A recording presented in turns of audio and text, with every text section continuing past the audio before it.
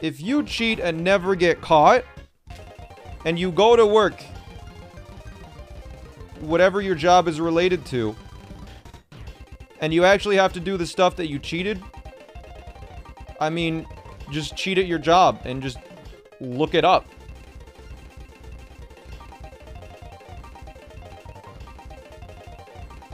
Right?